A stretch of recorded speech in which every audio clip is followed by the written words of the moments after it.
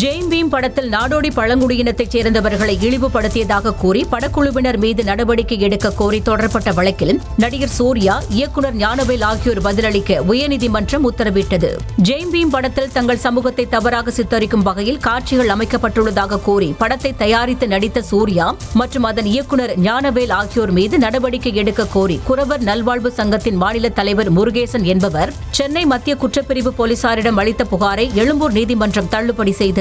இதனை எதிர்த்து சென்னை உயர்நீதிமன்றத்தில் தாக்கல் செய்த மனுவை விசாரித்த நீதிபதி ஆர். ஹேமலதா ஜெய்ம் பீம் படத்தை இயக்கி நடித்த நடிகர் சூர்யா மற்றும் இயக்குனர் ஞானவேல் ஆகியோர் இரண்டு வாரங்களில் பதிலளிக்க உத்தரவிட்டார். இந்தியாவின் அரசியலமைப்பை மாற்ற சிலர் முயற்சிப்பதாகவும் ஆனால் அதை பாதுகாக்க நூற்று நாற்பது கோடி பேர் உள்ளதால் அந்த முயற்சி பலிக்காது என்று காங்கிரஸ் தலைவர் மல்லிகார்ஜுனா கார்கே கூறினார். மத்திய பிரதேச மாநிலம் சாகரில் காங்கிரஸ் பிரச்சார கூட்டத்தில் பேசிய அவர் தற்போது மத்திய பிரதேசத்தில் அமைந்துள்ள பாஜக அரசு சட்டவிரோதமானது என்றார். காங்கிரஸ் எம்எல்ஏக்களை திருடி பாஜக மத்திய பிரதேசத்தில் ஆட்சியை பிடித்ததாக கூறினார். மத்திய பிரதேசத்தில் காங்கிரஸ் ஆட்சிக்கு வந்தால் ஐநூறு ரூபாய்க்கு சமையல் சிலிண்டர் வழங்கப்படும் என்றும் குடும்ப தலைவிகளுக்கு மாதம் ஆயிரத்து ஐநூறு ரூபாய் உதவி வழங்கப்படும் எனவும் அறிவித்தார். நூறு யூனிட் வரை இலவச மின்சாரம் வழங்கப்படும் என்று கூறிய அவர் மாநிலத்தில் சாதிவாரி கணக்கெடுப்பு நடத்தப்படும் என கூறினார்.